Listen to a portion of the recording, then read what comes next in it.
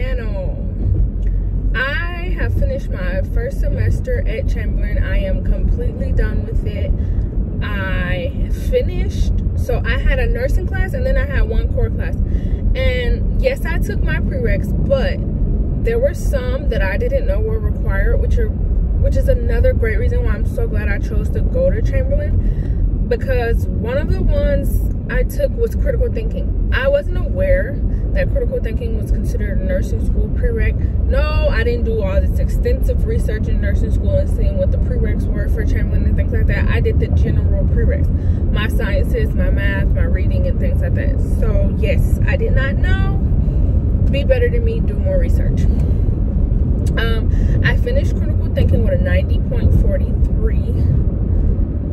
And I finished my transition into nursing class. That was my very first ever nursing class with a 92. So I barely got an A because as you know, at Chamberlain, or as you may not know, at Chamberlain, a 91 is considered a B when you're in a nursing class. A 91 is a B. So I got my A. I'm not sure of my GPA yet. I have to go and wait on them to calculate it but i'm hoping that i did great. I got two a's. I'm trying to maintain at least a 3.5 even when i start like the really hard classes i'm trying to maintain at least a 3.5 i'm trying to keep my grade point average at a 3.5 i can still graduate with honors with that. But i want to give you guys my honest and total complete review of chamberlain. I have no complaints right now and i said that because my teacher quit week six. Was it week six? Yes, my teacher quit week six and we had two weeks left and we had to do them with sit-in instructors and how instructors and how well they handled it was everything to me because we still got everything we needed to know we were still taught we were still groomed we were still given knowledge we even got to meet more people i think at one point the dean taught one of our classes which i thought was they get it done. No matter what, they made sure there was someone there to help us without overloading another teacher. So to me, that was that was very good. I also have never used the Castile, but I've been dipping in and out of it just because they offer study material for the whole entire school. For classes I haven't took, for classes I'm gonna take, like for classes I've already took, I like I want to say I have like four or six prereqs left. Nothing major, just things like interpersonal communications, culture and society, stuff like that. Things I didn't take because, like I said, I didn't know they were required.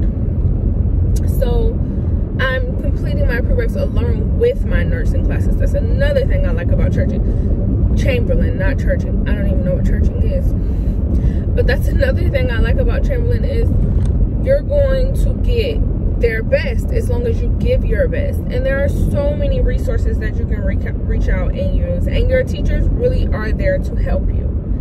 Um, I did bad on one assignment and it was because I really didn't understand the assignment, but I also didn't speak up. But my teacher still gave me the credit that he could give me, and then we went over the assignment so for the future I could have better understanding. Don't get me wrong, if you don't ask, you're not gonna know these things. You didn't ask it's not like they can read your mind and they just know that you needed help or something. And that was my fault. But when I did communicate that I didn't understand, we talked it out. It was explained to me. Everything was understood. So I can honestly say, going in, I still have no complaints. I've heard so many crazy things about Chamberlain where the teachers don't care about you. They give you classes that are hard. Oh, and in the beginning, if you guys would have asked me, if I liked my advisor, I would have told you no. That's where Chamberlain drops the ball on advisors 100%. And that's the person who helps you get your schedule, who helps you get enrolled, who helps you with your financial aid. That's the person who does everything. But I think they recently hired more people. So I have an amazing advisor now. He responds to my emails. That didn't happen in the beginning. He helps me get everything set up. He answers any questions I have. I am also a GI Bill student. So if you don't know what that means, I'm a veteran and the Marine Corps pays for my schooling because I served four years active and four years inactive in the reserves. So that's how I get my school fully covered and paid for. And I didn't know how that worked with Chamberlain because I was afraid that I wasn't going to get my full benefits because it's only two classes at a time. But that does not matter. It's structured that way even for GI Bill students so that you get all of your benefits and you're maximizing your benefits. So I thought that was super cool because this was also my first semester experience and that I've never just taken two classes. And the course load for these, well, I took three, but FAFSA only, FAFSA and my GI Bill covered two. And no, I don't need FAFSA with my GI Bill. They cover everything. But when you apply for FAFSA and you have a GI Bill, it just, it comes back to you and that's the truth. It's like free money. With my money, invest, I save, and I'm gonna have to pay for my last year of Chamberlain, I think. I'll still be eligible for FAFSA then, but I'll basically be able to use that extra money I got to pay for that if I don't get my GI Bill extended with the vocational rehab. And if you guys have any questions about anything I'm asking, if any other veteran is watching it and want to know exactly what I'm talking about, please just leave a comment or DM me and I will 100% answer these questions because we got to stick together and we got to let each other know what resources are available to veterans. So yes, all of that has been super smooth for me now. Even my registration advisor wasn't that bad. Like he answered all the questions that he could answer for me always. But you don't use your registration person anymore once you have to register for classes and things like that. So I thought that was cool. Um, what else? What else? My next two classes, just so you guys know, are the interpersonal communications and culture and society. I do not have a nursing class this semester. My next nursing class is next semester. Um, so I get a semi break on the fact that if I get a 91, I'll still have an A. I get a little break, but from what I've seen, because I am in week one of my new classes, from what I've seen of these classes, is the course load at Chamberlain is it's gonna be heavy.